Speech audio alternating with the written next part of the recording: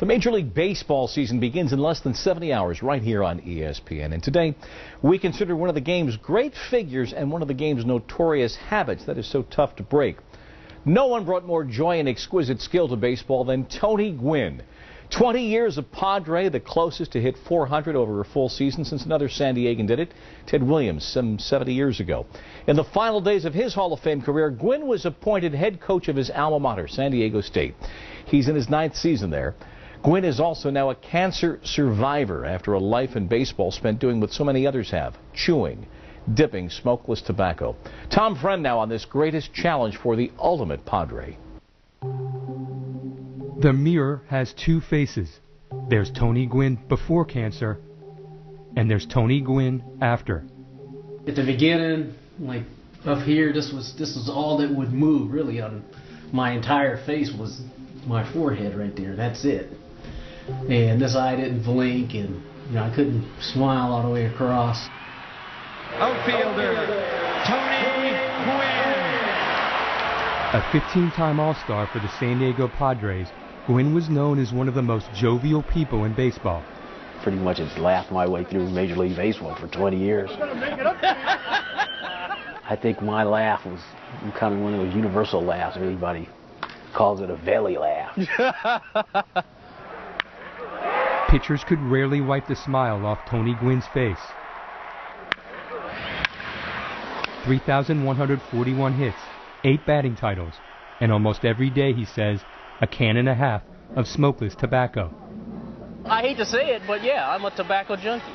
In this 1997 interview, Gwynn described his habit. I feel like a criminal sometimes because I've had nights where I've gotten up in the middle of the night about 2 o'clock and everybody's asleep and I get in my car and I drive down to the local, you know, Circle K or 7-Eleven to get a can and the lady behind the counter doesn't want to sell me a can because she knows, you know, what I'm doing to myself. I was a workaholic, so while I was working, I was different. You know, I extra hitting had a diff in. Shagging fly balls had a diff in. Sitting in my locker had a diff in. Gwynn's wife Alicia recalls driving him home from the hospital in 1991 after he underwent surgery to remove a benign growth inside his right cheek. As soon as he hits the car seat, he puts a dip in. I said, Tony, your wound is not even closed yet. You can't do that.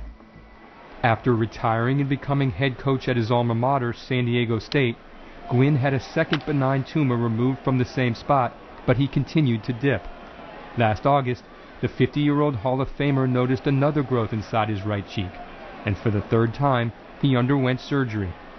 And I said, you know, it was cancer. And so he looked at me and he like really looked straight in my eyes. He said, I'm dying. You know, right away, your heart kind of jumps into your throat right away because you hear cancer and you think, I think you just automatically think of the worst. When you think of the worst, you just think you're going to die. I said, No, you're not dying. You have cancer. You just have to deal with it. You can see a large tumor almost completely replacing the right parotid gland. The diagnosis was cancer of the parotid, one of the salivary glands, a rare condition that, according to Gwynn's doctor, isn't necessarily linked to smokeless tobacco. I think Tony's uh, tobacco chewing, uh, in my judgment, probably has no contribution to this particular cancer. But actually, we do know from the past experience, and it can cause lots of other problems, especially in the tongue and the cheek area. There's no reason for a tumor to grow there other than the fact that, yeah, I used to chew tobacco and put it on the right side. They can't tell me for sure, but that's how I'm going to approach it. The tumor was wrapped around a nerve, and after surgery, the right side of his face was partially paralyzed. So Tony Gwynn could no longer smile. I didn't have the control of my face that I, the way I'd like to. I couldn't control my eye, couldn't control my mouth. You don't know if you're going to be able to smile again. There was no laugh. If you tried to laugh, it was just this little corner right there. Everything else was dead. It was frustrating, especially when you're, you know, people know you for your laugh. After the operation, Gwynn says he stayed away from the clubhouse and his San Diego State players partly because he was also using a walker to cope with a debilitating back problem. In October, he summoned the ball club to a meeting. He was bent over at the waist and basically clutching on to that walker like it was it was the only thing that was keeping him upright. And I told him, yeah, I can't coach. Your coach has cancer.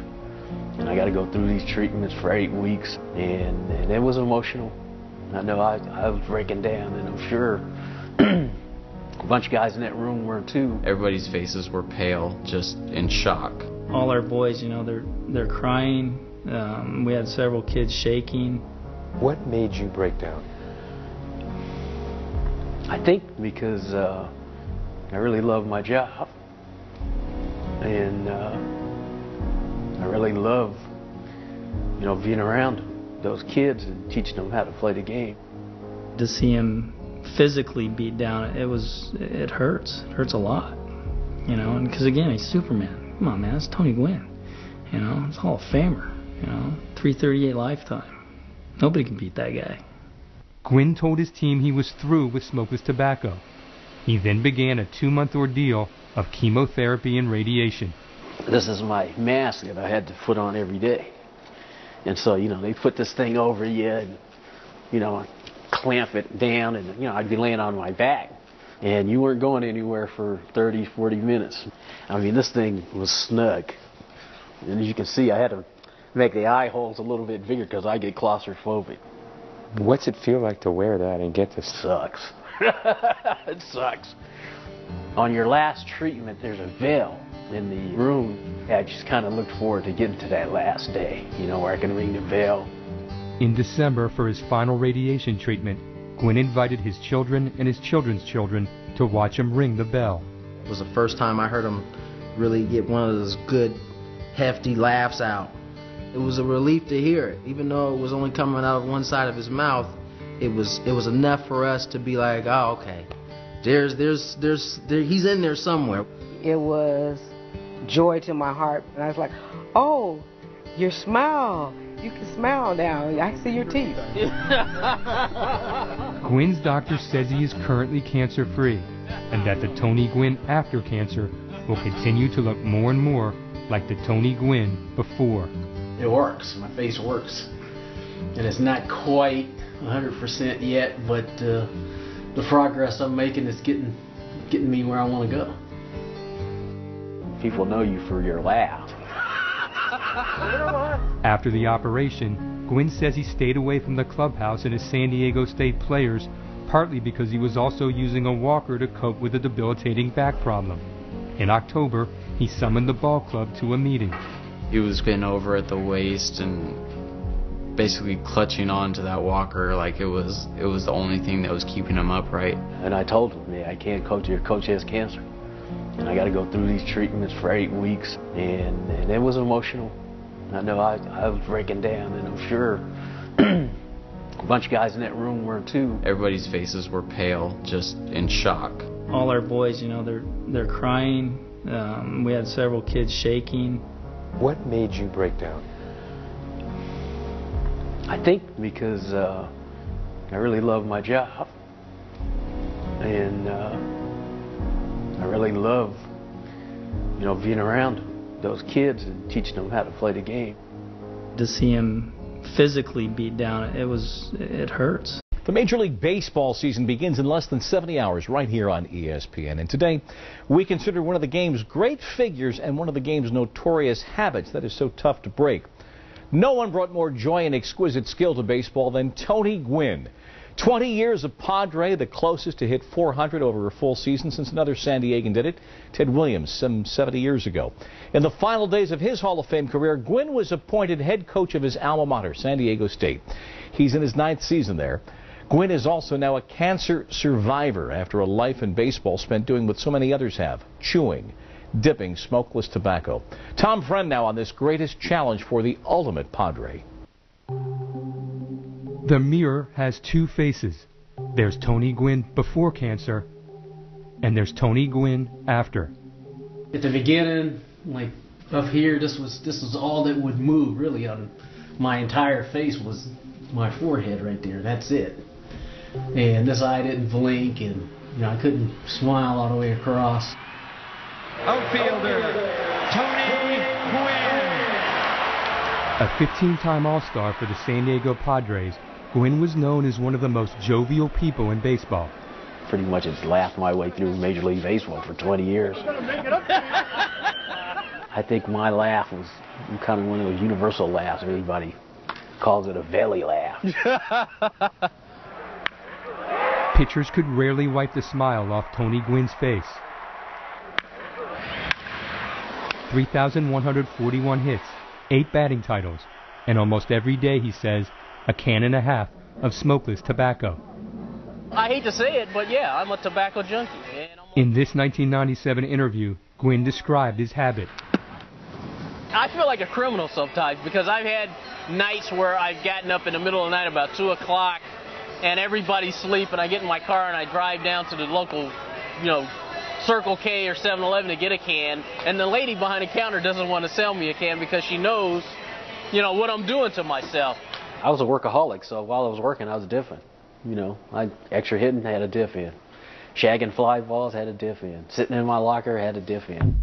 Gwynn's wife Alicia recalls driving him home from the hospital in 1991 after he underwent surgery to remove a benign growth inside his right cheek. As soon as he hits the card seat, he puts a dip in. I said, Tony, your wound is not even closed yet. You can't do that. After retiring and becoming head coach at his alma mater, San Diego State, Gwynn had a second benign tumor removed from the same spot, but he continued to dip. Last August, the 50 year old Hall of Famer noticed another growth inside his right cheek, and for the third time, he underwent surgery. And I said, you know, it was cancer. And so he looked at me and he like really looked straight in my eyes. He said, I'm dying. You know, right away, your heart kind of jumps into your throat right away because you hear cancer and you think, I think you just automatically think of the worst. When you think of the worst, you just think you're going to die. I said, no, you're not dying. You have cancer. You just have to deal with it. You can see a large tumor almost completely replacing the right parotid gland. The diagnosis was cancer of the parotid, one of the salivary glands, a rare condition that, according to Gwynn's doctor, isn't necessarily linked to smokeless tobacco. I think Tony's tobacco chewing, in my judgment, probably has no contribution to this particular cancer. But actually, we do know from the past experience, and it can cause lots of other problems, especially in the tongue and the cheek area. I mean, there's no reason for a tumor to grow there other than the fact that, yeah, I used to chew tobacco and put it on the right side. They can't tell me for sure, but that's how I'm going to approach it. The tumor was wrapped around a nerve, and after surgery, the right side of his face was partially paralyzed. So Tony Gwynn could no longer smile. I didn't have the control of my face that I, the way I'd like to. I couldn't control my eye, couldn't control my mouth. You don't know if you're going to be able to smile again. There was no laugh. If he tried to laugh, it was just this little corner right there. Everything else was dead. It was frustrating, especially when you're, you know,